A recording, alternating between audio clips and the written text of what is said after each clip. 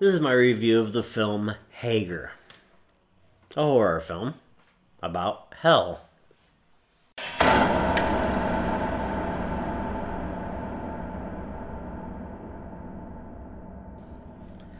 Here's a synopsis. After his colleague Schweitzer goes missing during a drug raid, undercover cop Till Hager is tasked with tracking down a mysterious new drug called Abaddon a substance which supposedly drags its users down the deepest depths of hell.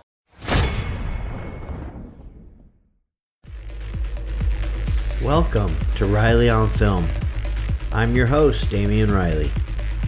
You can find out more and subscribe for free always at RileyOnFilm.com. Now, on with the show.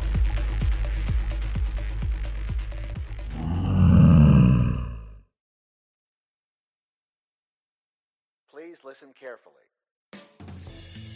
Well, psychedelic drugs have featured in many rock and roll films as well as some horror films. Pink Floyd's The Wall is replete with drug intended images, references, and music. It's about a rock singer. Many, many more seek to do the same thing.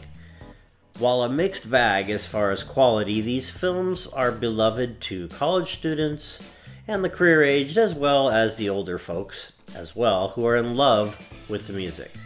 But that raises an important question.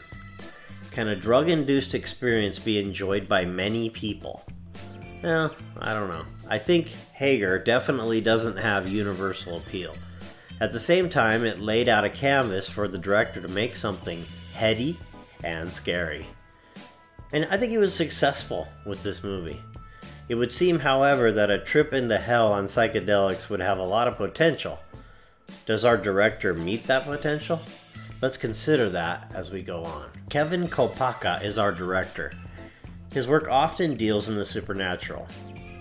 I think it's a nice experience going into the clubs and such and trying to find the root issue about this drug.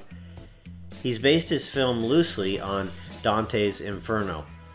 I won't make comparisons though because I think that notion is reaching just a little bit. This is just a drug crime horror thriller. Certainly not Dante's Inferno, in my opinion.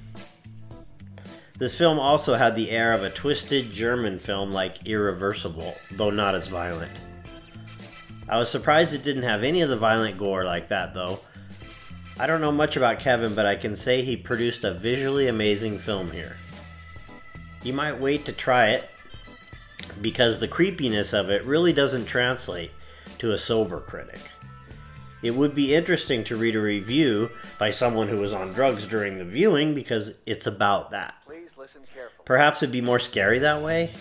If you think that way, please start a conversation with me in the comments. I'd love to hear your perception.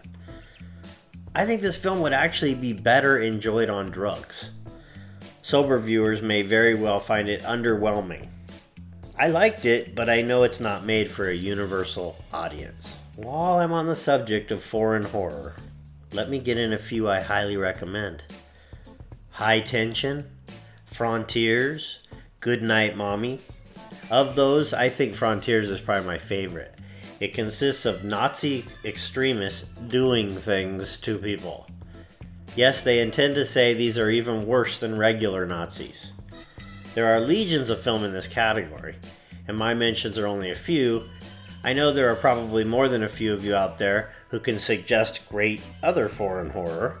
Feel free to do so in the comments. In conclusion, this creepy tale of a policeman investigating drugs while on drugs is certainly original.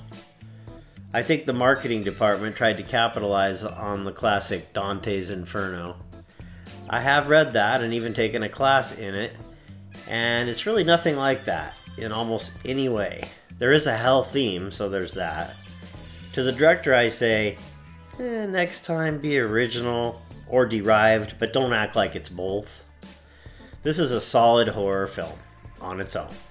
There are very attractive people doing very bad things. And the leading man is somewhat homely, I must say. I found it hard to believe that all these women were throwing themselves at him the entire time. I rate the final product against what I think the director was trying to do. This is an individual film response rather than a set in stone rubric.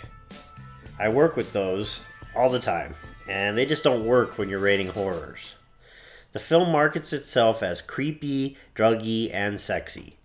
Since the male lead fails miserably at sexy, the women hold it up okay. The drug use is presented well, with some truly amazing special effects in the way they see things and the way they hallucinate. Finally, I gave it a good score because the creepiness permeates the entire runtime. While it's not perfect, I enjoyed it. I'd love to hear what you thought of it, especially if you were on drugs while watching it.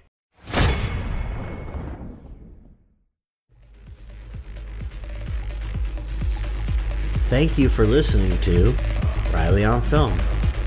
I'm your host, Damien Riley. You can find out more and subscribe always for free at RileyOnFilm.com.